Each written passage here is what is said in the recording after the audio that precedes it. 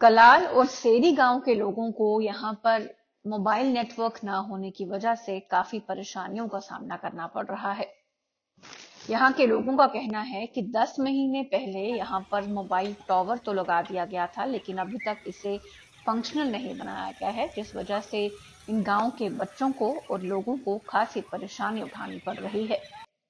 एक तरफ़ तो ऑनलाइन एग्जामिनेशन चल रहे हैं और दूसरी तरफ़ इस गाँव में नेटवर्क ना होने की वजह से यहाँ के विद्यार्थियों को खासी परेशानियों का सामना करना पड़ रहा है। इन लोगों ने सरकार से मांग की है कि यहाँ पर जल्द से जल्द इस मोबाइल टॉवर को फंक्शनल बनाया जाए। गाँव के लोगों का कहना है कि 10 महीने पहले एक निजी कंपनी द्वारा यहाँ पर मोबाइल टॉवर तो लगा दिया गया था, लेकिन अभी तक इसे फंक्शनल नहीं किया गया है। जिस वजह से एक तरफ़ तो उनके पैसों का नुकसान हो रहा है और दूसरी तरफ़ उनके बच्चों को पढ़ने में भी इस वजह से काफ़ी परेशानी उठानी पड़ रही है। देखिए ये ये जो हमारा कलाल का एरिया है बॉर्डर का एरिया है आए दिन यहाँ पे पाकिस्तान फायरिंग भी हमें झेलनी पड़ती है। पाकिस्तान जो शेलिंग करता है इस एरिया में डींग कलाल के जो एरिया है तो जहाँ पे दस महीने हो गए हैं जियो का जो टावर था वो हमने मैंने आ, बड़ी कोशिश करके जियो का टावर लगवाने की कोशिश की और टावर टावर जो कलाल में जियो का लगा भी दिया गया जियो कंपनी की तरफ़ से। लेकिन इस टावर को 10 महीने हो गए अभी ये टावर लगा तो दिया गया, लेकिन इसको चालू नहीं किया गया। इसका, इसको मेरी जियो कंपनी से और जो हमारे जो डीसी साहब है, मैं उनसे रिक्वेस्ट करता हूँ कि जो जियो का टावर कलाल में लगाया गया है, काफ़ी बच्चों को भी परेशानी आती है, जब फायरिंग होती है तो तब हमें एक दूसरे का हालचाल पूछना भी लोगों को बड़ी प्रॉब्लम होती है। तो क्योंकि फार फलांग एरिया है काफ़ी लोगों को दिक्कत आती है। तो मैं आ, कहना चाहता हूँ कि जितना भी ये जो हमारा शेरी ब्लॉक है शेरी ब्लॉक में मग्योट हो गया, डींग हो गया गगरोट वगैरह हो गया, इन शेरी एरिया हो गया, टावर के नीचे बैठकर भी टावर नहीं आता।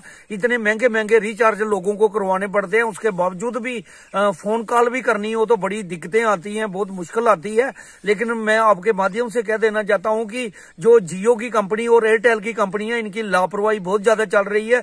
ये इस में टावर तो इनके लगे हैं, लेकिन ये अपनी मिली वक्त से एक दूसरे को जो कस्टमर है, उनको परेशान करते हैं और उनको ये जो सुविधा जो मिलनी चाहिए, वो टावर के नीचे बैठकर टावर नहीं मिलता। सब लोग परेशान है। जितना भी यूथ है, जितने भी आम लोग हैं, उनको कहीं फ़ोन कॉल करनी हो कोई मैसेज भेजना हो, जैसे बच्चों की पढ़ाई ऑनलाइन चल रही थी, ऐसा कुछ नहीं है। जहाँ पे फोर की बात तो की जाती है सरकार की तरफ़ से, लेकिन यहाँ पे ज़ीरो जी भी नहीं चल रहा।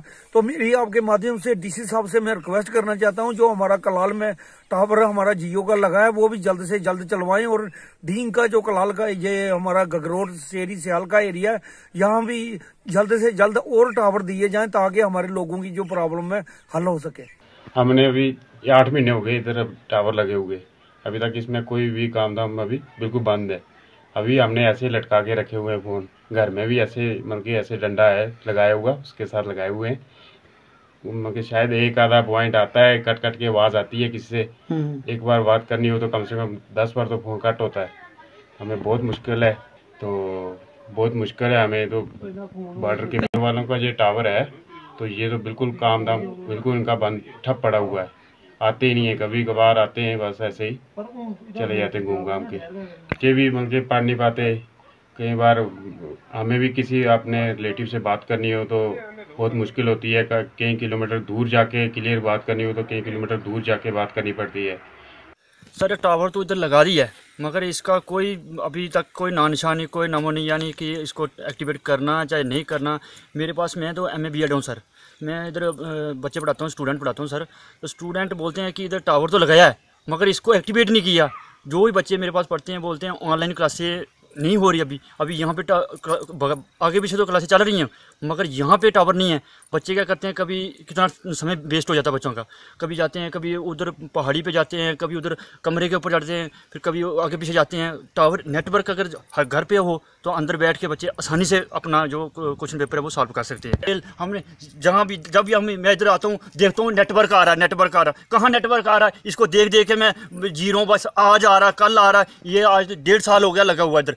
कोई इसका नेटवर्क का कोई नामो निशान नहीं, हमें जब भी हमें फ़ोन करना पड़ता है, कभी पहाड़ी के ऊपर जाना पड़ता है, कभी कमरे के ऊपर चलना पड़ता है, कभी उधर आगे पीछे जाना पड़ता है, हो सकता है उधर हमें जहाँ पे, जहाँ से पढ़ाई करने के लिए हमें नशहरा जाना पड़ता है वहाँ पे कमरे लेने पड़ते हैं, क्योंकि क्योंकि यहाँ पे सुविधा नहीं है टावर की सुविधा नहीं है, बच्चे वहाँ पर जाके कमरे ले रहे हैं, वहाँ पर जाके उधर पढ़, पढ़ाई कर रहे हैं, क्योंकि वहाँ पर नेटवर्क है, यहाँ पर नेटवर्क नहीं है, इतने इतने इतने लोग गरीब हैं, जो जाके वहाँ पर नशहरे जाके कमरे ले रहे हैं, भाई, वहाँ पे हम बच्चों की जो पढ़ाई है जो एक्टिवेट कर सके।